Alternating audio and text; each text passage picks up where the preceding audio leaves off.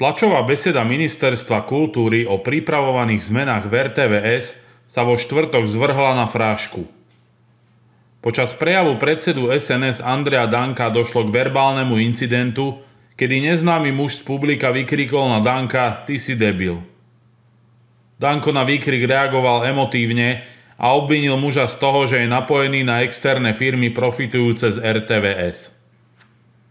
Predstavitelia Ministerstva kultúry a Andrej Danko zdôraznili potrebu posilnenia finančnej stability RTVS a kritizovali jej doterajšie fungovanie. Podľa nich inštitúcia nedokázala preukázať, že je skutočne verejnoprávna.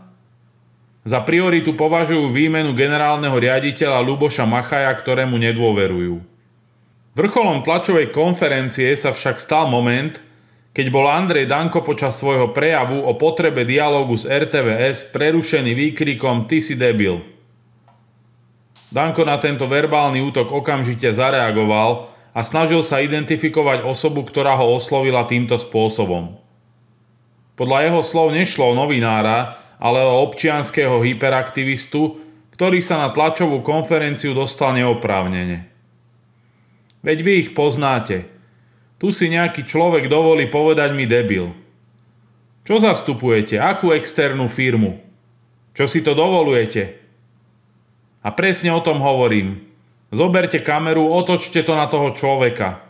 Odkiaľ je ten človek? Z akej ste firmy? Presne s týmto sa stretávame. Sú na RTVS napojení ľudia, ktorí z nej žijú. To, čo my chceme, je dialog z RTVS ostro odvetil Danko. Danko reagoval pobúrene a pýtal sa ešte muža, z akého média pochádza. Ako sa voláte? Vaše meno? Prečo ste tu? Predstavte si, že Andrej Danko urobí tlačovku a vám zástupcom médií budem nadávať. Veď to by bol škandál. Uzavral Danko a po skončení tlačovej besedy ešte požiadal muža o ospravedlnenie.